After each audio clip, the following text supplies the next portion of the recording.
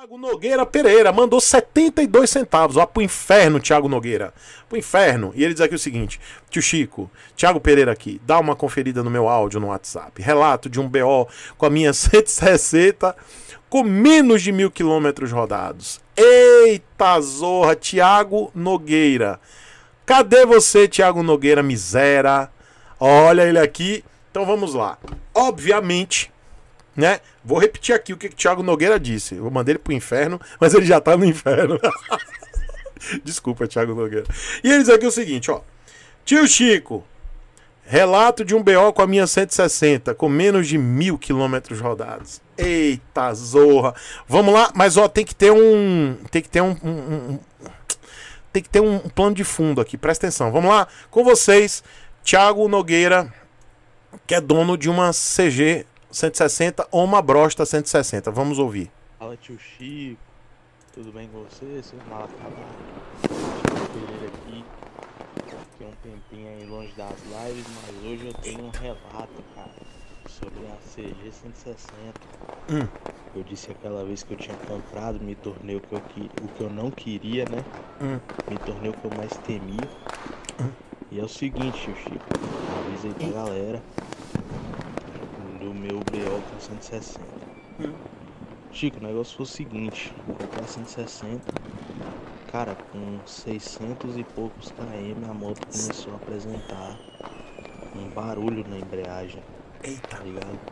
Toda Já? vez que eu ligava a moto, enquanto a moto tá fria, hum. se eu apertasse a embreagem e acelerasse, ela fazia um barulho estranho. Como se tivesse, sei lá, batendo campana, sei lá. Eita, já? Pesquisei um monte de vídeo da internet, cada um falando um problema parecia pior que o outro, tá ligado? Uns diziam que poderia ser é, rolamento do eixo primário. Às vezes é. E que poderia dar BO e não sei o que, teria que abrir o motor. Ixi, essa foi perto. Outros dizendo que é folga da campana. E, um, e nessas pesquisas eu acho uma coisa interessante, que eu acho que muito cara compra sem saber, né? É o seguinte, olha para você ver como a Honda segue a risca aquela história do é, da obsolescência programada, né? É. Muito. Na 150, carburada, ou a injetada lá até 2013, a embreagem era de 4 molas, cara. E a 160 é de 3. E o pior é que os caras nem compensaram direito na parte Nada. de carga de mola, tá ligado? É Uma feita carga pra quebrar. Praticamente a mesma carga, só que com uma mola a menos. Parece que os caras reservam justamente para dar BO na moto. Agora é perigoso de eu ter que trocar todo um kit da moto. A moto agora já tá com 1.200 e Vixe Maria. rodados.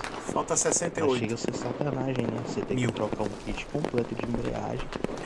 Tudo por conta de uma frescura da Honda.